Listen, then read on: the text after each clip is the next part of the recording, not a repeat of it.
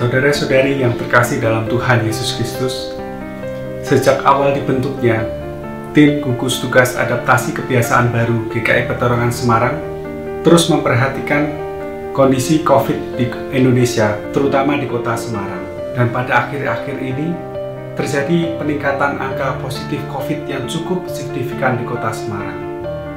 Oleh karena itu, tim gugus tugas adaptasi kebiasaan baru GKI Peterongan Semarang bersama dengan Majelis Jemaat GKI Peterongan memutuskan untuk meniadakan kebaktian onsite GKI Peterongan mulai pada hari Minggu 13 Februari 2022 sampai dengan batas waktu yang belum ditentukan. Kita akan terus mencermati perkembangan yang terjadi. Jika kondisi sudah relatif aman kembali, maka baru kita akan memulai ibadah secara tatap muka di gedung gereja.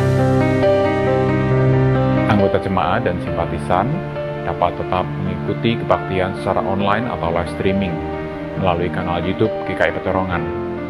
Ibadah akan disiarkan secara langsung mulai pukul 8. Tayangan langsung dapat diakses setelahnya sepanjang hari.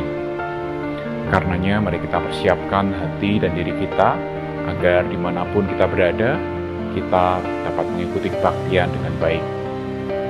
Mari kita juga terus doakan negara kita, negara Indonesia, dan kota Semarang secara khusus agar angka kasus COVID-19 semakin menurun dan kehidupan akan menjadi makin baik.